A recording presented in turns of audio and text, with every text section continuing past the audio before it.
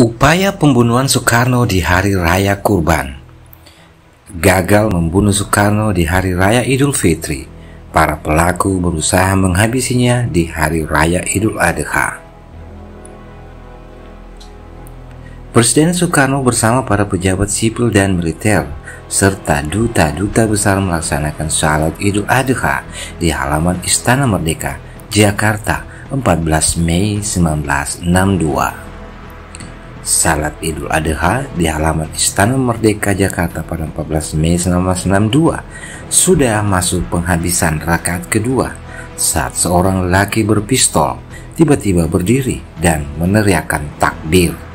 Sejurus kemudian, dor, dor, dor, tiga letusan menyalak, melesatkan timah panas ke arah barisan terdepan. Komisaris polisi manggil Marto Winjojo, Komandan Detasemen Kawal Pribadi DKP, Presiden Soekarno, dan wakilnya Sudio dengan cepat melindungi Soekarno.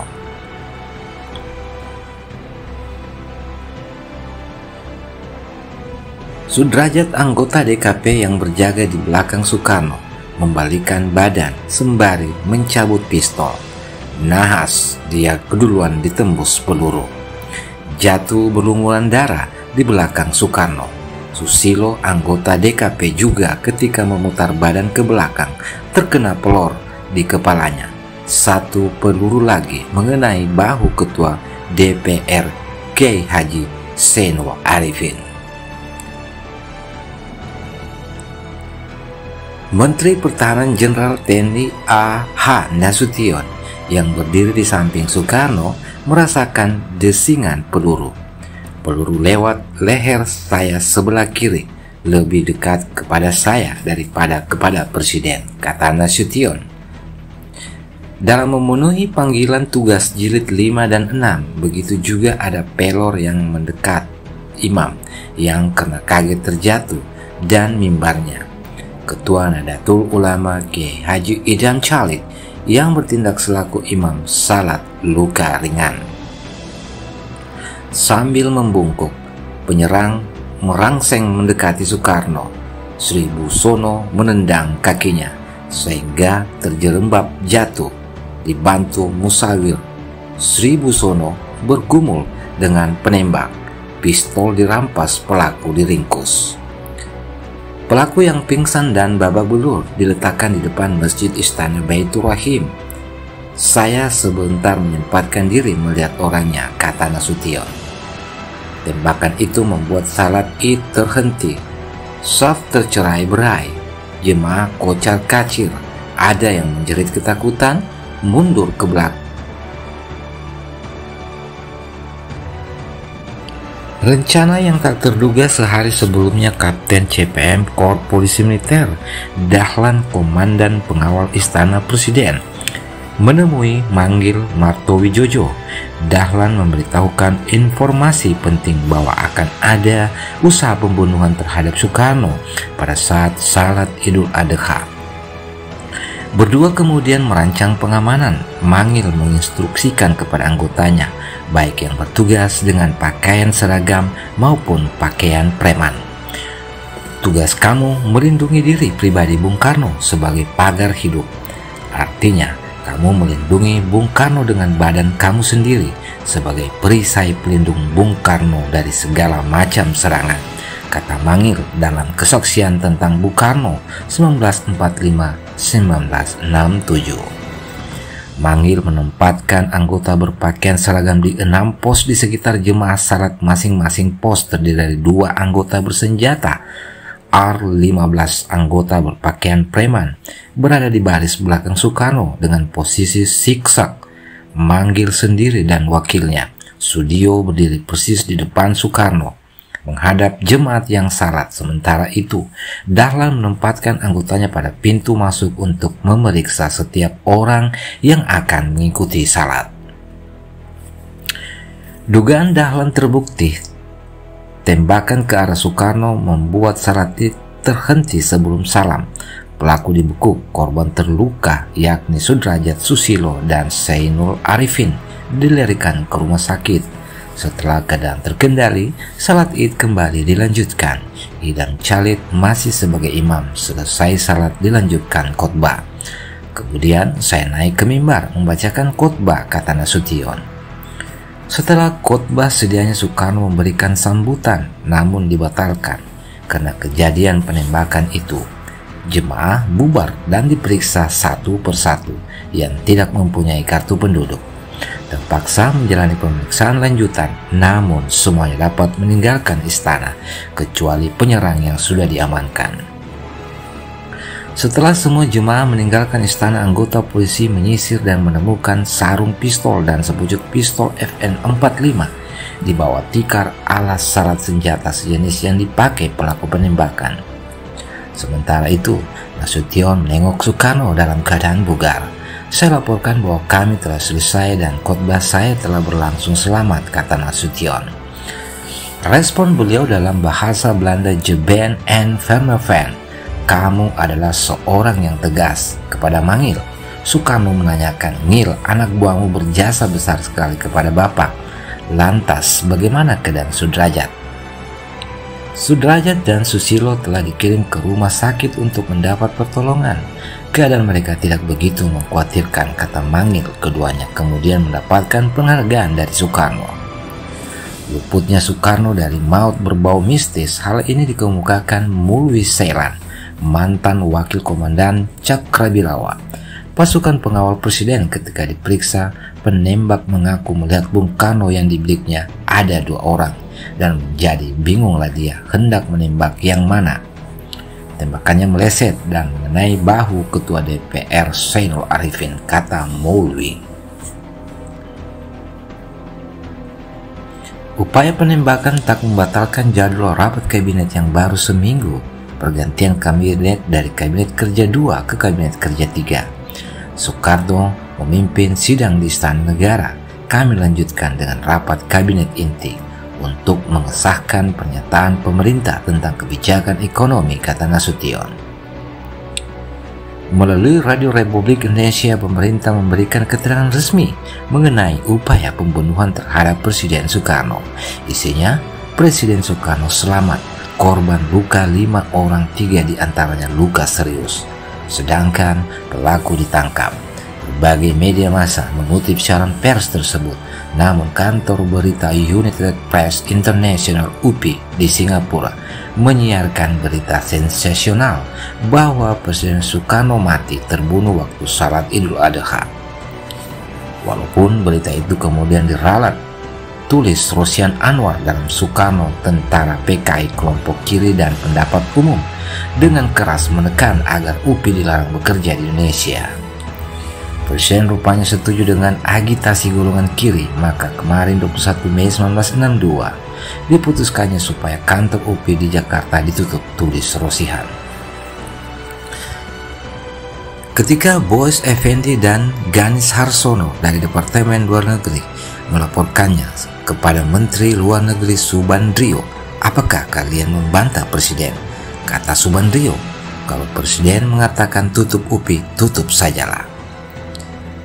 Hasil pengusutan terhadap pelaku yang tertangkap diketahui mereka adalah anggota Darul Islam Tentara Islam Indonesia DITI pimpinan SM Kartosuwirjo.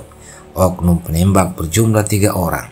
Mereka berhasil masuk ke dalam istana Jakarta dengan memegang kartu undangan masuk yang mereka peroleh dari salah satu ormas kata manggil ketika pelaku itu adalah Sanusi alias Fatah alias Soleh alias Uci Sanusi Fikrat alias Sanusi Ufin, Kamil alias Harun bin Karta, dan Jaya Permana bin Embut alias Hidayat bin Mustafa.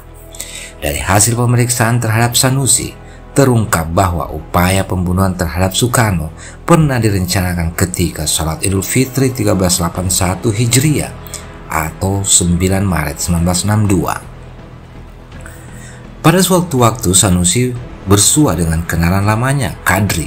Dia diajak ke rumah Haji Mahfud di daerah Matraman, belakang Jakarta. Di sana dia melihat sembilan anggota DITI yang mendapat perintah membunuh Soekarno pada hari raya Idul Fitri. Mereka adalah Dahcaya Harun, Abudin, Kadri Hidayat, Cholil Hamdan, Anwar, dan Iding. Senjata yang disediakan dua pucuk senapan Carl Gustav, lima pistol, dan satu granat. Dua hari setelah pertemuan itu, mereka pergi menemui Jaya Permana yang memberikan pondokan kepada beberapa anggota DITI Sanusi mendengar pecekcokan antara Inding dan Hidayat.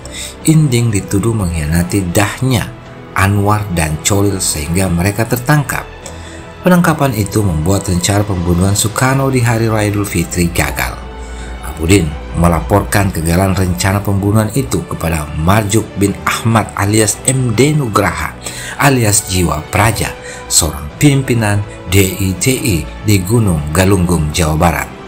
Sementara itu, Sanusi bersama Kadri Harun Hidayat Hamdan menuju rumahnya di Kampung Ciranjang, Desa Pemejanan, Bogor. Abudin kembali dengan membawa surat perintah untuk menghabisi Kadri. Ternyata yang berkhianat adalah Kadri, bukan Inding. Sanusi membunuh Kadri di rumahnya pada 25 Maret 1962 pukul 1. Dua hari kemudian, dan dia Abudin pergi ke Gunung Galunggung Marjuk memerintahkan Sanusi memimpin pembunuhan Soekarno pada saat salat Idul Adha. Dia juga menerima empat lembar dokumen berisi pengumuman kemenangan negara karunia Allah negara Islam Indonesia yang harus diberikan kepada seorang jenderal, kata Mangil. Marjuk tidak menyebutkan nama sang jenderal. Sanusi mendapatkan kunci masuk istana berupa undangan dari Haji Bahrun yang tinggal di Bogor. Sanusi memutuskan sebagai eksekutor adalah dirinya, Harun dan Hidayat, sementara Hamdan dan Abudin ditugaskan mendengarkan radio hasil dari usaha pembunuhan itu. Pada hari H pukul 5.30, mereka berangkat menuju Harmoni dekat istana. Lalu berbagi tugas Sanusi menembak pertama sebagai tanda Harun mulai melepaskan tembakan ke arah Soekarno dan Hidayat melemparkan granat ke kerumunan yang sedang panik. Harun masuk istana dan mengikuti salat. Tiba-tiba disergap perasaan takut dan terharu akan beban pembunuhan yang harus dilakukannya. Dia membatalkan niat jahatnya dan menyembunyikan pistol FN di bawah tikar. Setelah salat selesai, dia lolos dari penggeledahan dia menuju kampung Pulau Jakarta dan bertemu Hidayat di sana. Kepada Hidayat, Harun mengaku tidak jadi menembak kena senjatanya macet. Setali tiga uang dengan Harun, Hidayat malah membatalkan niatnya masuk istana. Dia membuang granat ke sungai Cisadane. Mendengar kegagalan pembunuhan Soekarno, lewat radio, Hamdan dan Abudin juga segera melarikan diri mereka membawa serta istri Sanusi, Cici Sukarsi, melarikan diri ke daerah Cianjur. Pelaku percobaan pembunuhan Soekarno pada Idul Fitri dan Idul Adha berjumlah sembilan orang. Semuanya berhasil ditangkap. Menurut Rosihan, para pelaku itu mencari pembenaran perbuatannya atas nama Tuhan. Kabarnya, pembunuh itu selain mengatakan diperintah oleh Karto Suwirjo untuk membunuh presiden. Untuk selebihnya, dia tidak mau mengaku dan hanyalah menjawab Tuhan yang menyuruh saya. Begitulah keyakinan mereka. Karto Suwirjo memerintahkan anak buahnya untuk membunuh Soekarno karena dianggap penghalang terwujudnya negara Islam. Menurut Soekarno, dalam autobiografinya Bung Karno penyambung lidah rakyat Indonesia, karya Cindy Adams, Karto Suwirjo melontarkan api dengan ucapannya bunuh Soekarno dialah penghalang pembentukan negara Islam. Soekarno bekerja menentang kita. Soekarno menyatakan bahwa Indonesia harus berdasarkan Pancasila, bukan Islam. Sebagai jawaban atas tantangan ini, kita harus membunuh Soekarno. Mahkamah Angkatan Darat dalam keadaan perang untuk Jawa dan Madura menjatuhkan vonis mati kepada Sanuti, Firkat, dan alias Usfik dan Kamil alias Harun pada 16 Juli 1962. Jaya Permana alias Hidayat, Nabdi alias Hamdan, dan Abudin alias Hambali pada 7 Agustus 1962 dan Marjuk bin Ahmad pada 2 Oktober 1962. Sedangkan tiga orang lainnya Dahya alias Musa, Hermanudin alias Anwar dan Colil alias Pie dihukum seumur hidup pada 11 September 1962. Kartosuwirjo sendiri ditangkap pada 5 Juni 1962. Dia dinyatakan bersalah makar untuk merobohkan negara Republik Indonesia. Pemberontak terhadap kekuasaan yang sah di Indonesia dan makar untuk membunuh kepala negara Republik Indonesia yang dilakukan berturut-turut dan terakhir dalam peristiwa Idul Adha. Karena kejahatan-kejahatan itu, Mahkamah Angkatan Darat menjatuhkan hukuman mati kepada Kartosuwirjo pada 16 Agustus 1962. Pemerintah telah menuntut hukuman mati sebagaimana layaknya aturan hukum dan untuk menunjukkan kepada yang lain bahwa perbuatan demikian itu harus diganjar hukuman yang setimpal, kata Soekarno. Menurut Maulwi Seilan, Haji Bahrun yang memberikan undangan masuk istana juga ditangkap dengan tuduhan mengatur rencana dan memerintahkan pembunuhan pasca peristiwa gerakan K30 September 1965. Dia dipindahkan dari rumah tahanan militer Guntur ke penjara Salemba berbaur dengan ribuan tahanan G30S. Di tempat itu juga ditahan Kapten CPM yang pernah menginterogasinya, kata Maulwi. Sikapnya terhadap tahanan G30S sangat baik. Dia menjadi imam salat dalam memberikan ceramah. Dia bebas lebih cepat daripada para tahanan G30S. Menurut Aryo Helmi penulis biografi, Kiai Senuli Arifin bersikir menyiasati angin setelah kejadian upaya pembunuhan terhadap Soekarno di hari raya Idul Adha. Presiden tidak pernah lagi melakukan salat di tempat terbuka. Sementara itu tulis Aryo, untuk keperluan pengamanan dibentuklah Satuan Tugas Khusus Pengamanan Presiden pada 6 Juni 1963. Bertepatan dengan hari ulang tahun Soekarno dengan nama Resimen Cakrawirawa, peristiwa Idul Adha ini gelap mengubah jalan hidup saya, kata Mauli karena dengan alasan itu, saya dipindahkan dari Makassar ke Jakarta untuk ikut membentuk resimen Cakra Birawa yang bertugas menjaga kepala negara dan keluarganya.